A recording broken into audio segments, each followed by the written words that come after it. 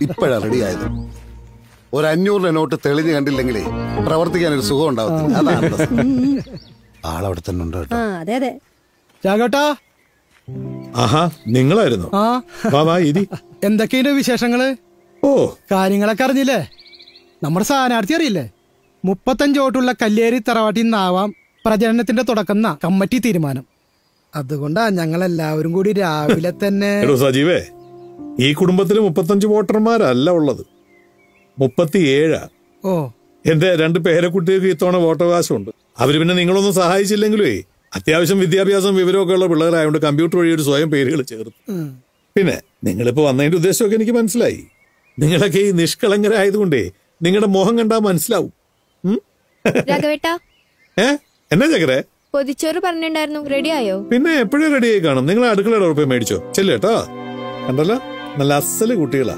നമ്മുടെ ഈ മെഡിക്കൽ കോളേജിലും താലൂക്ക് ആശുപത്രിയിലും ഒക്കെ കിടക്കുന്ന പേഷ്യൻസിനും അവരുടെ ബൈസ്റ്റാൻഡേഴ്സിനും ഒക്കെ ആഹാരം എത്തിച്ചു കൊടുക്കാൻ വേണ്ടി കഷ്ടപ്പെടുന്ന പിള്ളേരാ. ശരിക്കും പറഞ്ഞ ഇവരാ പൊതുപ്രവർത്തകർ മനസ്സിലായോ? ഇവിടെ നാട്ടിലൊരു പ്രശ്നം ഉണ്ടായി കഴിഞ്ഞാൽ ആദ്യം ഇടപെടുന്ന ഈ പിള്ളേരാ. നിങ്ങൾ ഇന്ന് വരെ ഇവിടുത്തെ ഒരു പ്രശ്നത്തിൽ ഇടപെട്ടിട്ടുണ്ടോ? പിന്നെ കതർ വിട്ട് അഞ്ഞൂറ് രൂപ പോക്കറ്റിലും വെച്ചോണ്ട് ഇങ്ങനെ ആൾ കളിച്ച് നടക്കാം. അല്ലാതെ എന്തെങ്കിലും പ്രയോജനം നിങ്ങളെ കൊണ്ട് നാട്ടുകാർക്ക് നാണമില്ലല്ലോ. ശോഭേച്ചി? ശോഭേച്ചി അടുക്കളയിലായിരിക്കൂലേ ഞാനൊന്ന് ശോഭേച്ചിയുടെ കടത്ത് ഓ ആയിക്കോട്ടെ രാഘവേട്ടാ നമ്മളും പൊതുപ്രവർത്തനത്തിൽ ഇടപെടുന്നുണ്ട് ഇപ്പൊ തന്നെ ആ നവകേരള സദസ്സിന് വേണ്ടി പൊളിച്ച കോളേജിന്റെ മതിൽ നമ്മൾ സമരം ചെയ്തിട്ടാ കെട്ടിയത്. ആ സമരത്തിന്റെ മുന്നിൽ നിന്നിരുന്ന ആളുകളാ ഇവരൊക്കെ. അതൊരു പ്രൈവറ്റ് കോളേജ് അല്ലേ അതാ ആ കോളേജിന്റെ ഗ്രൗണ്ട്. അതിന്റെ മതിൽ. അത് അവർ പൊളിച്ചു. അവർ പൊളിക്കോ കെട്ടോ ചെയ്യുന്നത് നിങ്ങൾക്ക് എന്താ നഷ്ടം അതുകൊണ്ട് പൊതുസമൂഹത്തിന് അഞ്ച് പൈസയുടെ നഷ്ടമില്ലല്ലോ.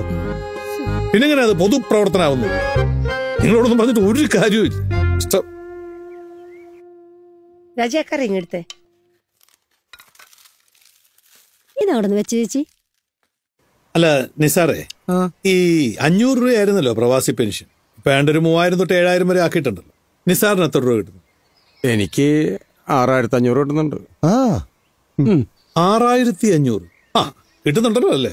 ഇനി അതുപോലെ നമ്മുടെ ഈ നാട്ടിൽ വീടില്ലാതെ കിടന്ന ഏതാണ്ട് ഒന്നര ലക്ഷം പേർക്കാണ് ഇപ്പൊ പട്ടയം വെച്ചു കൊടുക്കുന്നത്. ആണല്ലോ? നമ്മുടെ ഈ അടുത്തുള്ള പി എച്ച് സെന്റർ ഉൾപ്പെടെയുള്ള കേരളത്തിലെ എല്ലാ പി എച്ച് സെന്ററുകളും കുടുംബ ആരോഗ്യ കേന്ദ്രങ്ങളാക്കി അപ്ഗ്രേഡ് ചെയ്തിട്ടുണ്ട്. അതുകൊണ്ടുള്ള പ്രയോജനം എന്താ നിങ്ങൾ ചിന്തിച്ചിട്ടുണ്ടോ. നമുക്ക് നേരത്തെ ഉച്ചവരെ ഉണ്ടായിരുന്ന ഡോക്ടർമാർ ഇപ്പൊ വൈകുന്നേരം വരെ നമ്മളെ ചികിത്സിക്കാൻ തയ്യാറായിട്ടിരിക്കുക. നിസ്സാര കാര്യമാണ്. അതെല്ലാം പോട്ടെ. നമ്മളിപ്പോ കേരളത്തിൽ അങ്ങോളം ഇങ്ങോളം കണ്ടുകൊണ്ടിരിക്കുന്ന ഒരു കാഴ്ചയാണല്ലോ ഹൈവേ വികസിപ്പിച്ചുകൊണ്ടിരിക്കുന്നത്. ഈ ഹൈവേ വികസനത്തിന് വേണ്ടി ആദ്യമായിട്ട് ഇന്ത്യയിൽ ഒരു സംസ്ഥാനം കേന്ദ്രത്തിന് അങ്ങോട്ട് പൈസ കൊടുക്കുന്നത് ഈ കേരളം തന്നെ. ഇതിനു മുമ്പ് ഒരിക്കൽ പോലും ഒരാളും കേന്ദ്രത്തിന് അങ്ങോട്ട് പൈസ കൊടുക്കുന്ന സാഹചര്യം ഇല്ല ഇവിടെ. മനസ്സിലായില്ലേ? ഇത്രയും നല്ല കാര്യങ്ങൾ ചെയ്യുന്ന ഈ സംസ്ഥാന സർക്കാരിനെ നമ്മൾ ഒരു കണ്ണിച്ചോരയില്ലാതെ വിമർശിച്ചുകൊണ്ടിരിക്കുകയല്ലേ? ഇതൊക്കെ കാണുന്ന ഒരു ജനം പുറത്തുണ്ട്. അവർ നമ്മളെ ശത്രുക്കളായിട്ടേ കാണുള്ളൂ. പറഞ്ഞ മനസ്സിലായോ? അവർ വിവരവും ബോധവും വിദ്യാഭ്യാസമുള്ള ആൾക്കാരാ. അതൊക്കെ ചിന്തിക്കണം. ഇതെല്ലാം ഇനി പോട്ടെ എന്ന് വെക്കാം നമ്മൾ എല്ലാവരും കൂടി കഷ്ടപ്പെട്ട അഞ്ച് വർഷം മുമ്പ് ഒരാളെ ഇവിടെ ജയിപ്പിച്ച് നമ്മളെ ഈ നാടിന്റെ എം പി ആക്കിയല്ലോ. അയാൾ ചെയ്ത എന്തെങ്കിലും ജനോപകാരപ്രദമായ ഒരു കാര്യം നിങ്ങൾ ആരെങ്കിലും ഇപ്പൊ ഇവിടെ ഒന്ന് പറഞ്ഞു. നമ്മളെല്ലാരും കഷ്ടപ്പെട്ടതല്ലേ? ഞാൻ ഉൾപ്പെടെ ഉള്ളവരെല്ലാം കഷ്ടപ്പെട്ടതാ. പറ. ഉണ്ടല്ല. ഒരുപാട് വികസന പ്രവർത്തനങ്ങൾ നമ്മൾ നടത്തിയിട്ടുണ്ട്. എന്തോ അത്? നമ്മുടെ സെന്ററിൽ മിനിമാക്സ് ലൈറ്റ് സ്ഥാപിച്ചില്ലേ? ഒരു ഒരു ലൈറ്റ് വെച്ചതാണോ ഇത്ര വലിയ വികസന പ്രവർത്തനം? ഒപ്പം ഉണ്ടാവുന്നല്ലേ ഇയാൾ നമ്മളോട് പറഞ്ഞത്? എന്നിട്ട് ഈ ഒപ്പം ഉള്ളത് എവിടെയാ? ഇവിടെ എന്തെല്ലാം പ്രശ്നങ്ങളായി നാട്ടിലുണ്ടായത്? കൊറോണ വന്നില്ലേ? ലോകം മുഴുവൻ ഇറങ്ങലിച്ചൊരു കൊറോണ ഉണ്ടായില്ലേ? അന്ന് നമ്മൾ ഈ ആൾക്കാരെ എല്ലാരെയും കൂടെ കൊണ്ടുപോയി രക്ഷിച്ചെടുക്കാൻ വേണ്ടി രക്ഷാ കേന്ദ്രങ്ങളിൽ കൊണ്ടുപോയി താമസിപ്പിച്ചില്ലേ? എവിടെയെങ്കിലും ഒരു സ്ഥലത്ത് ഒരൊറ്റ സ്ഥലത്ത് ഒരു ദിവസം ഈ എം പി ഒന്ന് എത്തി നോക്കിയിട്ടുണ്ട് ആരെങ്കിലും ഒന്ന് സഹായിക്കാൻ അയാൾ തുനിഞ്ഞിട്ടുണ്ട് ഇല്ലല്ലോ? എന്നിട്ടാണ് ഒപ്പമുണ്ട് എന്ന് പറയുന്നത്. എന്നിട്ട് അയക്ക് വേണ്ടിയിട്ടാണ് നമ്മൾ വീണ്ടും ഇറങ്ങണം എന്ന് പറഞ്ഞ് നിങ്ങൾ ഇപ്പൊ ഇവിടെ വന്നിരിക്കുന്നത് അല്ലേ? നല്ല കാര്യം. ദാ അല്പ സംഭാരം കുടിച്ചിട്ടാവാം. ഇനി നിങ്ങളുടെ നാട്ടു ഓ ആയിക്കോട്ടെ. അവിടെ കൂടെ. തന്നോളൂ ചേച്ചി. നോക്കിയേ? എടാ ഇത് എന്നാ പേക്കോലോ ആടാ ഇത് ഓര് കുടിക്കുന്നതും ഫോട്ടോ എടുക്കണം. എഫ് പിയിലിടാൻ വേണ്ടിയാണ്. കുഴപ്പമില്ല രാഘവട്ടം പറഞ്ഞോ. അതൊക്കെ പോട്ടെ രാഘവട്ട. എലക്ഷന്റെ കാര്യം എങ്ങനെ? എലക്ഷൻ എന്ത് കാര്യമാ ഇവിടെ ജാതിയുടെ മതത്തിന്റെ പേര് പറഞ്ഞ് ജനങ്ങളെ നാല് തട്ടിലാക്കി നിർത്തിക്കൊണ്ടിരിക്കുന്ന കേന്ദ്ര സർക്കാരിനെതിരെ ഒരു വാക്ക് സംസാരിക്കാൻ നമ്മുടെ പാർട്ടിയുടെ എം പിമാർക്ക് സാധിക്കുന്നുണ്ട്? ഇവിടെ ഒരു പൗരത്വ നിയമം കൊണ്ടുവന്നല്ലോ. എത്ര പേർക്ക് ആ പൗരത്വം നഷ്ടപ്പെട്ടു ആ ബില്ല് പാർലമെന്റിൽ അവതരിപ്പിച്ചപ്പോ അതിനെതിരെ കൈപൊക്കാൻ ഒരാളുണ്ടായോ നമ്മുടെ ഈ എം പിമാരുടെ കൂട്ടത്തിൽ നിന്ന് നമ്മുടെ പാർട്ടിയിലുള്ള? ഏ? അതുപോട്ടെ എത്ര പള്ളികളാ പൊളിച്ചു കളഞ്ഞേ എത്ര മസ്ജിദാ പൊളിച്ചു കളഞ്ഞേ അതിനെതിരെ ആരെങ്കിലും സംസാരിച്ചോ? ഏ? ഒരു പെങ്കൊച്ചിനെ ഉടുതുണിയില്ല നടു റോഡിലൂടെ നടത്തി കത്തിച്ചു കളഞ്ഞു മണിപ്പൂര്. അതിനെതിരെ സംസാരിക്കാൻ ഒരു എം പി ഉണ്ടായോ നമ്മുടെ ഈ പാർട്ടിയിൽ? നിന്ന് ഇടതുപക്ഷ പ്രതിനിധിയായ ആരിഫ് മാത്രമാണ് സംസാരിച്ചത്. ആര് പറഞ്ഞു പറഞ്ഞില്ലാന്ന്? കൈ ചൂണ്ടി സംസാരിക്കാൻ ധൈര്യം ഉണ്ടായത് നമ്മുടെ എം പിക്കല്ലേ? അല്ലടാ. ഓ. ആണോ?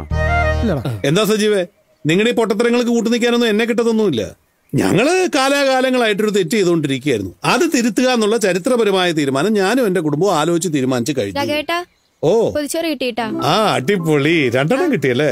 അപ്പൊ ഇനി ആവശ്യമുള്ളപ്പോ വിളിക്ക്. ഓക്കെ വെരി ഗുഡ് കൺഗ്രാലേഷൻ അത് മാത്രമല്ല സജീവേ നമ്മുടെ ഈ ഇന്ത്യയിൽ ഇരുപത്തെട്ട് സംസ്ഥാനങ്ങളും. ഇത്രയും ജനോപകാരപ്രദമായ തീരുമാനങ്ങൾ എടുത്ത സംസ്ഥാനം വേറെ ഉണ്ടോ ഇന്ത്യയിൽ? നിങ്ങൾ ആലോചിച്ച് നോക്ക്. അതെന്തുകൊണ്ടായി കേരളത്തിൽ മാത്രം ഇങ്ങനെയുള്ള തീരുമാനങ്ങൾ വരുന്നതിന്റെ കാരണം? ഇവിടെ ഭരിക്കുന്നത് ഇടതുപക്ഷമായതുകൊണ്ടാണ് അതുകൊണ്ട് തന്നെ ഇടതുപക്ഷ പ്രതിനിധികളുടെ ശബ്ദം ലോകസഭയിൽ അലയടിക്കണം.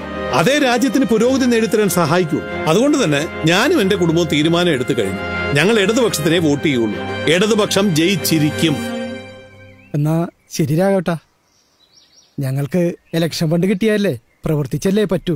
എന്നാ ശരി. ശരി എന്നാ. വാ മെമ്പർ വരുന്നില്ലേ? ഇല്ല ഷാജേട്ടാ ഞാൻ വരുന്നില്ല. രാഘവേട്ടനൊപ്പം ഈ നാടിനൊപ്പം നേരിന്റെ രാഷ്ട്രീയത്തോട് ഞാനും പക്ഷം ചേരുകയാണ്.